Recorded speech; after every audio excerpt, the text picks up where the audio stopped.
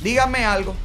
La familia Leiva está sin agua, le quitaron el agua, los acosan, le hacen horrores. Lisandra Góngora y su familia y su pareja y sus hijos están siendo acosados por la seguridad del Estado.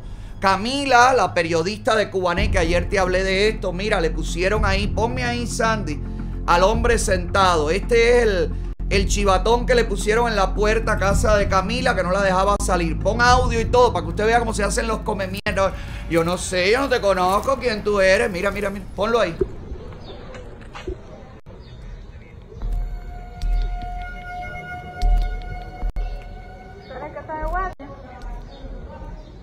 ¿Y esta vigilancia ahora por qué? ¿Qué pasó hoy? ¿Y por qué no puedo ¿Me salir? vigilando dónde?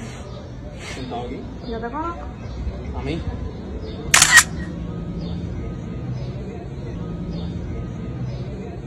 Entonces puedo salir normal.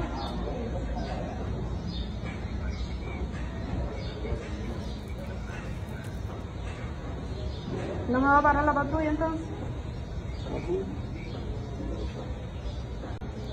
Ya debo salir entonces. Y salió y la paró la patrulla y la tuvieron detenida por varias horas. Estas son la gente que está viniendo aquí. Camila no la dejan salir de su casa.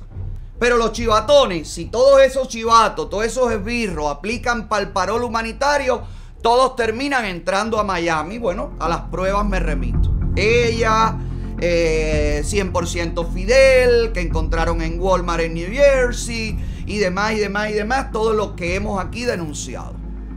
Entonces me parece muy bien que nuestros políticos hagan lo que tienen que hacer, porque mira cómo está Rebolico. Mira para acá lo que, ofre, lo que ofertan en Rebolico.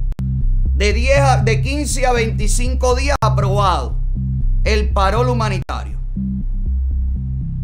Así están. Entonces, ¿hay que tomar medidas? Sí. Nuestros políticos que están ahora mismo en posiciones de poder tienen o deben empezar a tomar medidas con esto. Sí. ¿Lo van a hacer? No sabemos si lo van a hacer. No sabemos si tienen el respaldo para hacerlo. Por eso es importante impulsar a las posiciones de poder a personas que vengan con la intención de hacer que se cumplan las leyes.